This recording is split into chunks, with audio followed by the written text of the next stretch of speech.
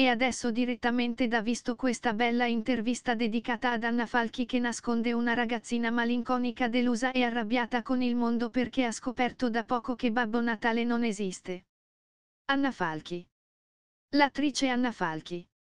Anna Falchi hai ricordi della Finlandia dove sei nata.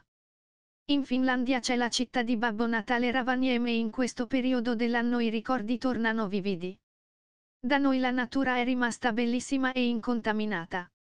Ricordo la casa di mia nonna vicina ad un lago, era di legno caldissima e dopo la sauna in casa ci si buttava fuori nella neve.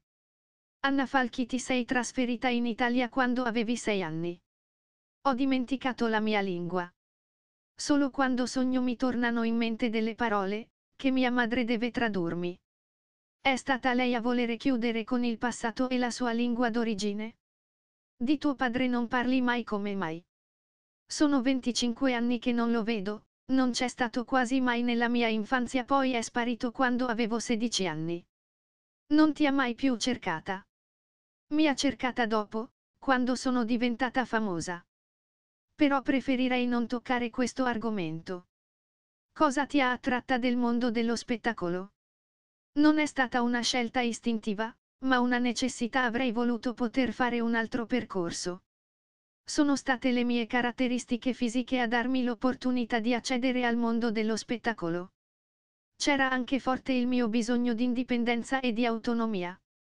Usare il mio corpo la mia bellezza era la cosa più facile da fare. Anna Falchi avevi in mente un'attrice come modello. Simonica Vitti, era mio idolo, ma anche Brigitte Bardot la prima per il talento, la seconda per l'avvenenza. All'inizio, tutti dicevano che le somigliavo. Anna Falchi all'inizio quando posavi nuda ti sei imbarazzata. Per il primo scatto ero imbarazzatissima, dovevo essere totalmente nuda, sesa per izoma per intenderci. Helmut Newton era il fotografo e dovevo fare un poster per la rivista Max. Ricordo che rifiutai e lo mandai a quel paese. Poi posai per Giampaolo Barbieri sempre nuda, sempre perché il poster, ma con la mano avanti. Il seno sì, il sedere sì, ma quella cosa lì no, è davvero una parte troppo intima. Cos'è per te la trasgressione? Ci sono tanti modi di trasgredire. Nella vita privata non ho mai trasgredito, sono una ragazza molto normale e con sani principi, che ho sempre rispettato. Ho fatto cose scherzose e ilgatie alla mia professione, ma non sono sono mai andata oltre. Ci sono molti con cui hai mantenuto un buon rapporto. Con il mio ex marito Stefano Ricuoci non per niente l'ho sposato. Ricuoci è stato l'uomo con cui ho avuto la relazione più lunga. Ho cercato di costruire un nucleo familiare ma purtroppo è andata come è andata. Avrei dovuto restare libera, perché alla fine è stato un fallimento. Anna Falchi un bilancio della tua vita. Mi lascio andare al fato.